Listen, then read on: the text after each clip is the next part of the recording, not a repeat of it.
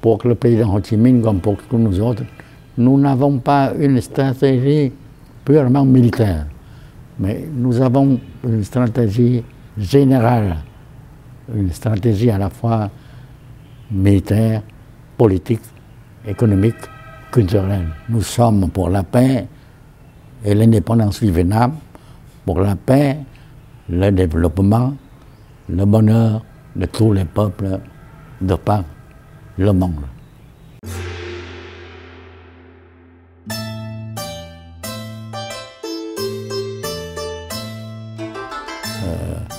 J'adhérais au Parti communiste. À ce moment, j'étais en même temps pas, professeur à une école privée.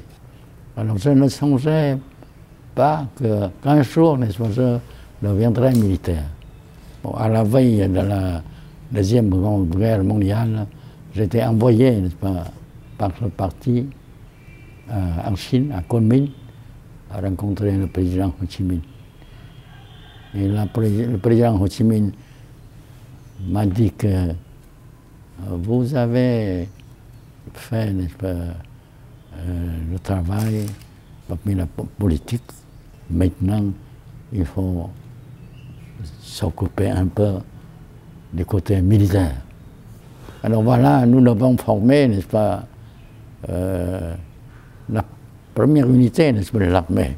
Il faut former l'armée de libération. Est-ce que le camarade Van, Van Vance, c'est mon nom de guerre?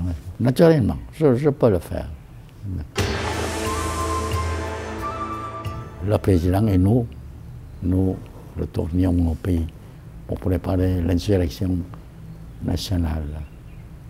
Et, revenu au pays, le président m'envoyait, m'envoyait, n'est-ce pas, faire euh, des campagnes d'organisation, des, masses dans la région montagneuse, parmi les minorités ethniques. Et voilà pourquoi je parle à, la, à part du vietnamien, du français, je parle trois langues des minorités.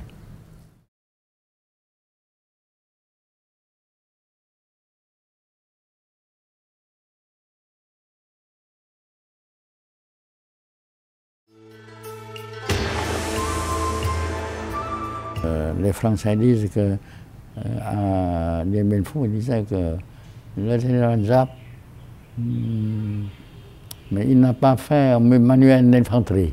Il a jeté les tracts pour inviter, nous invitons à nous attaquer.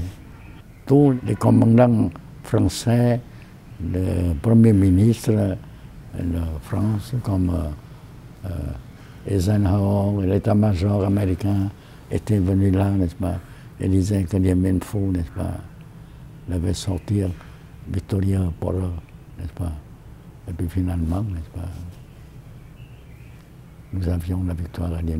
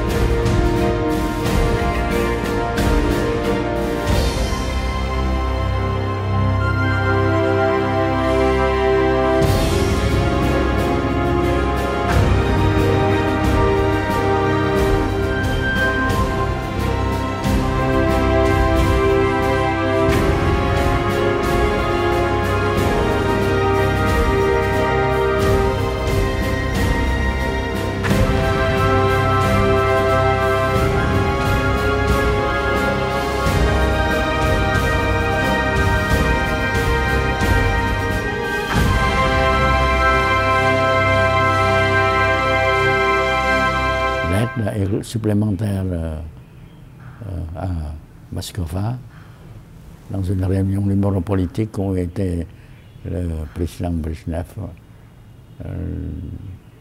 alors on m'a demandé, vous dites que vous vaincrez les Américains. Nous vous demandons,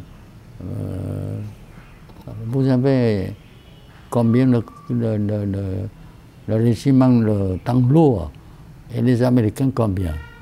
Combien vous avez d'avions de réaction? Et les Américains combien?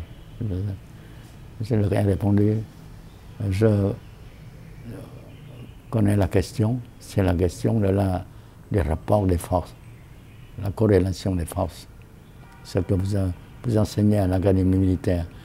Et pour moi, la science militaire soviétique, c'est une académie, n'est-ce pas, qui a une grande suprématie.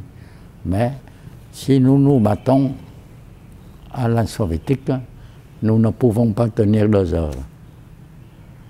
Nous nous battons à la vietnamienne et nous vaincrons.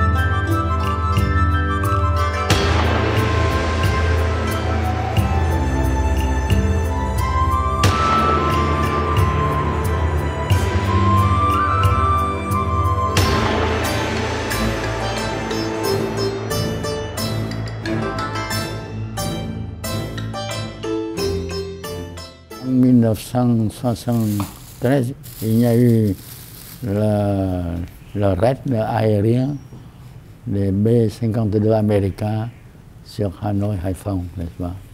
Alors Nissan était convaincu que nous ne pouvions pas résister.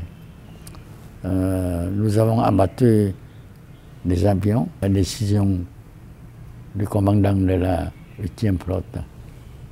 Euh, premièrement, position des euh, PCA, des batteries anti-aériennes euh, vietnamiennes. Alors, il était la plupart juste, à part des, des, points où c'était camouflé, n'est-ce pas? Puis, deuxièmement, les points, les coordonnées, alors, les points de bombardement, parmi lesquels il y a des ponts, où il y a des habitants euh, de la ville, où il y a les, hôpitaux. Et troisièmement, troisièmement, après avoir fait euh, la, la mission, retourner au complet au commandement. Alors finalement, pas, nous avons euh, abattu euh, à peu près le 7e n'est-ce pas, de l'aviation B-52 américaine et plusieurs prisonniers. J'ai visité les, prisonniers, les prisonniers euh, qui étaient très bien traités, n'est-ce pas ils ne me connaissaient pas. Je leur ai dit, vous avez eu reçu de votre commandant de retourner au complet au poste pour retourner au complet, mais à Hinton, Hanoi.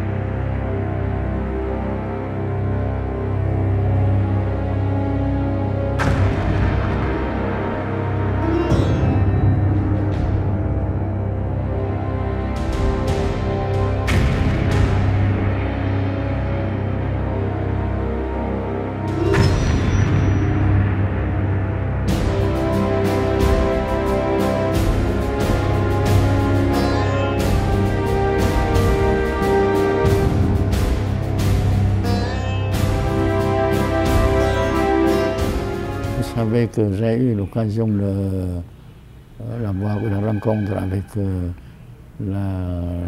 avec McNamara. Il disait que je vous considère comme un général légendaire.